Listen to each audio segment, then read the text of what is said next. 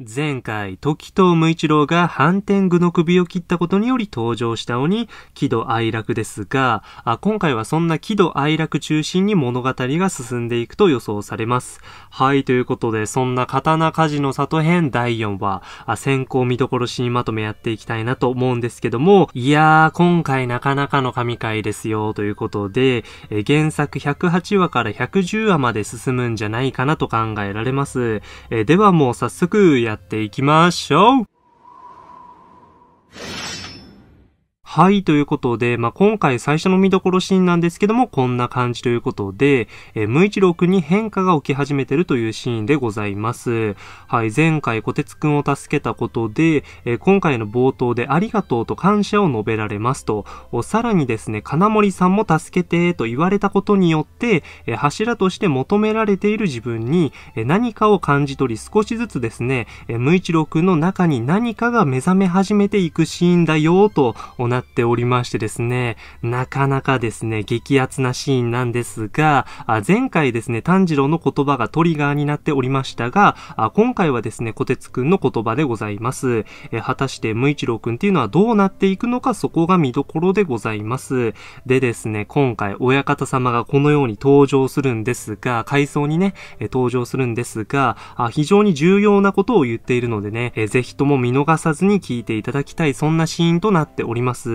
えー、無一郎くんがですね、どうなっていくのか今後に注目なんですが、まあ、そんなね、前触れのシーンとなっております。いやー、楽しみですね。はい。はい、ということで、続いての見どころシーンなんですけども、こんな感じということで、えー、炭治郎 VS うろぎですね、えー、前のようには弱くないぞということで、まあ、ここはですね、かなり楽しみなんですが、あ炭治郎の持ち味でありますね、えー、その分析力によって、えー、相手の弱点を探っていきますと。しかしですね、相相手は上限の鬼、うろぎということで、どんなに弱点が分かっていようと、炭治郎一人でどうにかなる問題なのかということで、上限と1対1でね、やり合う力が炭治郎にはあるのか、現段階の成長ぶりというか、まあ、主人公のですね、現段階の強さがね、しっかりと見えてくるパートなんでね、めちゃくちゃ楽しみでございます。で、そしてですね、ここでは、今まで炭治郎のセリフではありえなかった、お前もなという相手へのの切り返しの決め台詞があるのでね、え非常に楽しみでございます。いやー、ここはね、かなり激アツでございますよ。いや、うろぎ VS 炭治郎、なかなかですね、炭治郎の活躍じゃないけど、あれ、お前やるやんって感じでね、うん、いい感じに戦闘が繰り広げられていくんでね、いやー、ちょっとね、楽しみなんですよね。はい。ということで、まあ、主人公らしいセリフっていうところにも、まあ、かなり興奮できるんじゃないかなというシーンとなっておりまして、いやー、めちゃくちゃ楽しみでございますございますね。で、今回ですね、第4話では、惜しみなくですね、戦闘するので、アニメーションっていうところにも、まあ、かなり注目でございますね。いやー、かなり楽しみです。はい。はい、ということで、続いての見どころシーンなんですけども、こんな感じということで、えー、玄也 VS 愛絶ですね、えー、強気な戦闘がいいということで、えー、前回ですね、建物に取り残されてしまった禰豆子と玄也と、玄也はですね、愛絶によって、え腹を串刺しにされてしまったところで終わりましたが、あもちろんそんな簡単には死んでたまるかと、玄也が強気に戦っていきますと、いやー非常にですね、玄也強いので、なかなかおもろい展開になっていくんですが、あカラクと赤土は禰豆子と相手をし、え玄也はですね、愛絶と相手をしていきますということで、えここではですね、玄也の半端ない粘り強さ、あそしてですね、やはり相手は上限の鬼というところで、え愛絶の半端ない強さっていうところに、え見どころがありますと、玄也がですね、一人で戦っていく姿っていうのがめちゃくちゃかっこいいのでね、えぜひともそこに注目してご覧ください。ということでね、いやー、玄也ですね、今回ビビるぐらいに強いんですよ。はい。なんでこんな強いの？ということで、てめえの相手は俺だろうがというね、まあ、決め台詞なんかもあるんでね、いやー、ちょっとね、めちゃくちゃ楽しみなんですよね。え原作でもなかなか緊迫感のある戦闘というところで、いや、本当に楽しみでございます。はい、ということで、玄玄也の魅力が存分に感じられるパートになってるんじゃないかなと思いますので、皆さんぜひとも注目でございます。はい、ということで、続いての見どころシーンなんですけども、こんな感じということで、えねずこ VS 辛く赤度激しい戦闘ということでね、えここではですね、ねずこの強さに油断する辛く、そしてですね、え赤度が本気を出していくまでの流れっていうのが、まあ、描かれましてですね、えめちゃくちゃおもろいので注目でございます。えまたですね、全力で戦っていくねずこのかっこよさっていうところにも注目ですね。いやー、マジでね、本気で戦ってる感じっていうのがたまらないんですよ。いや、ねずこが本気を出して、それでも倒せない相手って今までいなかったじゃないですか。ということで、カラクはね、めちゃくちゃ強いんですよ。で、まあ、そしてねずこもめちゃくちゃ強いということで、もうドラゴンボール的なね、展開があるんでね、本当にアニメーション、そして激しい戦闘というところに注目でございます。マジでね、ねずこがね、今までこんな戦い方しなかったよなっていうぐらい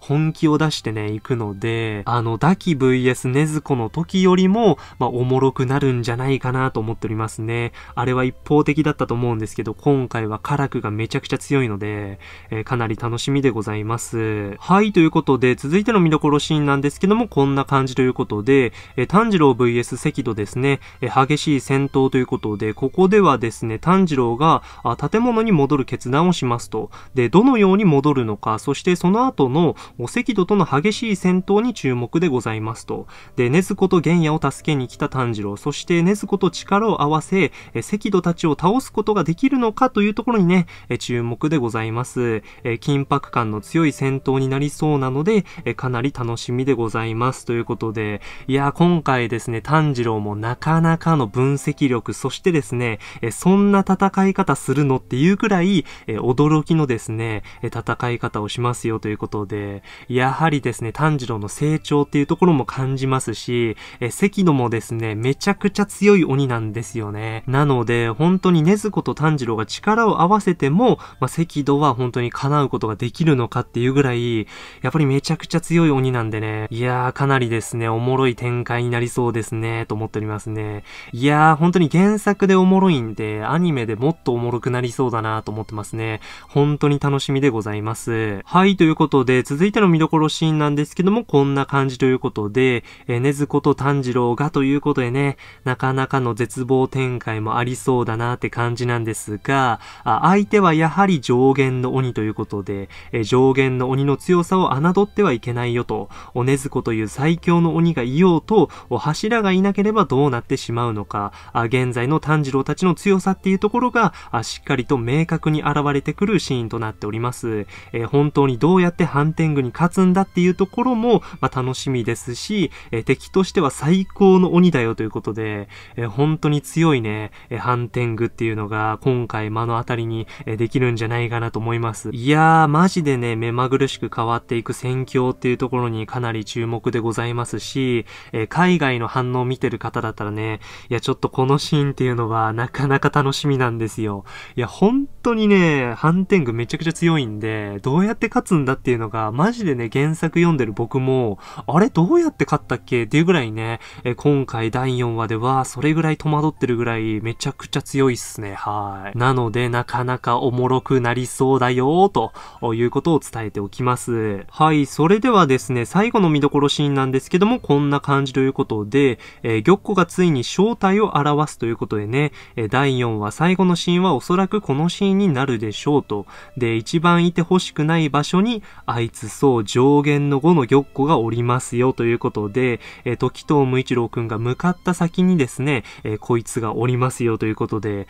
えなぜこいつがこんなところにおるんやって感じでね、えなかなか苦しい展開が続くんですが、あやはりですね、上限は強さだけじゃなくて、え頭も使っていきますよということで、勘だったり戦略なんかも一流、それが上限ということで、いやー、玉子はなかなか頭いいですねって感じで、なんでお前いいんねんって感じでね、なかなかうざい展開続くんですが、あいよいよですね、時藤無一郎 VS 玉子がですね、回戦かというところで、え第4話は終わるんじゃないかなと思っております。いやー、第5話へ持ち越しなんですが、無一郎のね、戦闘シーンが早く見たいですよね。えー、なので、第4話はですね、主にハンテングの戦闘っていうのが中心に描かれますね。はい。い。はい、ということで、まあ、今回第4話の見どころはこんな感じなんですけども、いやー、第4話以降もですね、なかなかおもろい展開が続きそうなんですよね。てか、むしろですね、後半に行けば行くほど、どんどんおもろくなっていきそうですね。で、そしてですね、今回は、